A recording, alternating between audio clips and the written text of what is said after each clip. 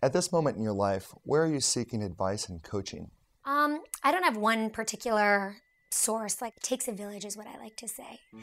It. Um, I've got a bunch of really great people in my life uh, in various capacities that I have great respect for and admiration for.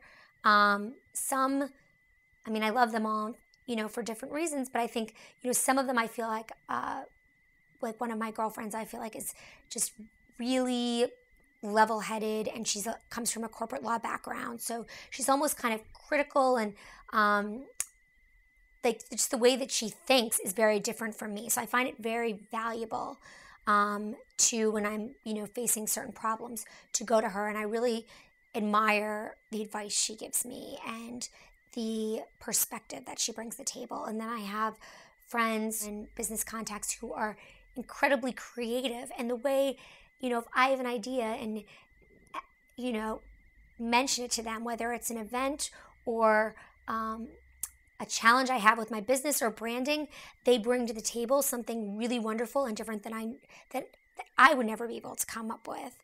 Um, and then, uh, you know, I have you know people I talk to are just have hugely successful businesses and have kind of uh, you know birds of a feather they say stick together. I have a really great network of um, people that I, I really respect and admire who are entrepreneurs. Some of them extraordinarily successful. Some of them, you know, are st- kind of starting out, you know, at all different stages.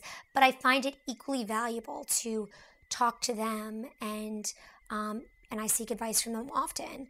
And even not advice, but just kind of schedule time to have coffee and just mm-hmm. kind of talk about the status of my company and hear about theirs. And learning is so empowering. Mm-hmm. And so I feel like every day is an opportunity to learn more.